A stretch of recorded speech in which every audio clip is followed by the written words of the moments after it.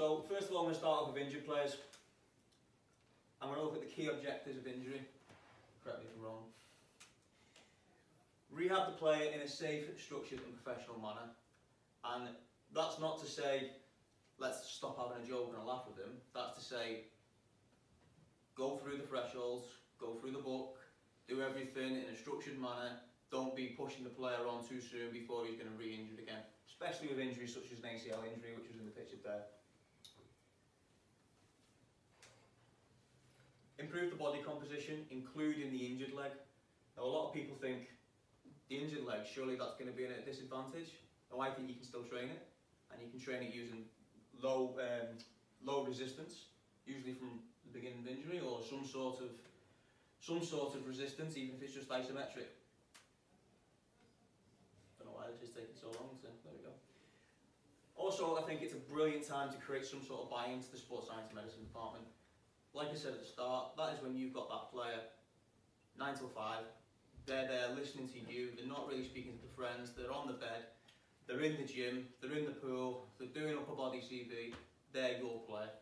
And that's why I think a lot of clubs in recent years have gone down that road of having a, a rehab fitness coach or just purely a rehab physio.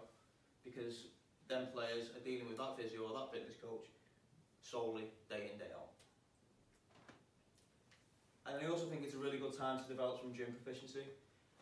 I think how many times, and we'll probably see it now on deadline day, where you get players come in and they come in and they go in the gym and they, you know, they've been playing the game for 12 years and they can't squat or they can't RDL. But I think if you get a strong long-term injury, then you can use that to develop those movements, the, the hinge, the pull, the squat, um, in order to try to develop that gym proficiency to take into their career after the injury is done and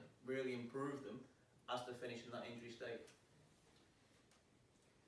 And then also, we want to, want to return them in an improved physiological and functional state.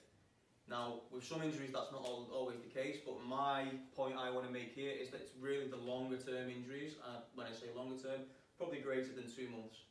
I think if you probably get a hamstring injury and you're rushing the player back and he really needs to come back to play in the cup final, then potentially player might not be in a functional or physiological state that's improved. He's just able to fulfil the demands that you placed on him.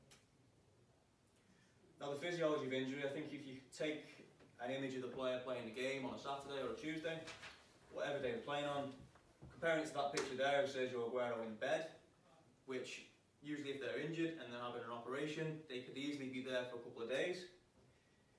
We've got a significant limitation in muscle contraction.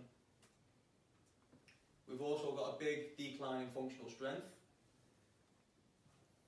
We've got a reduction in local metabolic rate a decline in insulin sensitivity, an increase in local fat deposition. So the player is effectively losing his ability to metabolize energy and getting fat.